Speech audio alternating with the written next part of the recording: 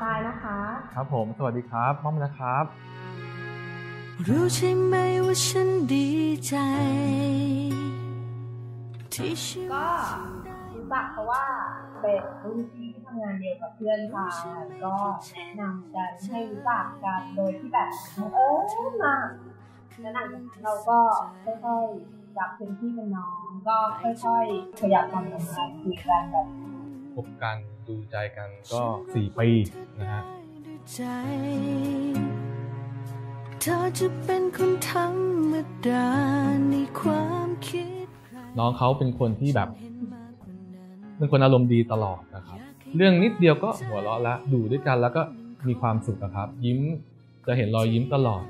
คือเขาเป็นคนที่แบบนิ่งๆเป็นคนที่แบบไม่ค่อยแสดงออกอะไรอย่างเงี้ยแต่ว่าเขาก็มีความแบบ น่ารักมีโมเมนต์น่ารักในในมุมที่เขาเป็นนะคะนี่คือความรักที่ฉันให้แค่คนที่พิเศ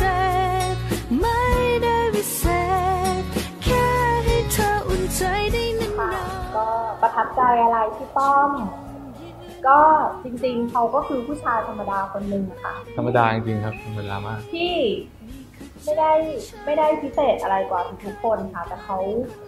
มีสิ่งหนึ่งที่ทำให้เรารู้สึกว่าเฮ้ยเขาคนนี้คือคนที่แบบเราอยากจะฝังชีวิตไว้กับเขาอะไรอย่างเงี้ยค่ะ ก็คือคบกันมาประมาณสาสี่มสาสามมปีปีกว่ากว่าจะเข้าปีที่สี่ปีนะคะเขาไม่เคยทำให้ทรายแบบเสียใจหรือมีน้ำตาในเรื่องของการใช้ชีวิตต่างๆ ไม่เคยเลย ช่วยเหลือทรายตลอด มีอะไรก็คือเราช่วยกันตลอด ไม่เคยแบบ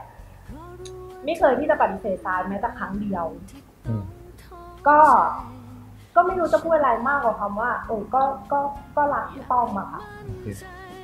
เขาก็น่าจะมาอยู่ร่วมกับ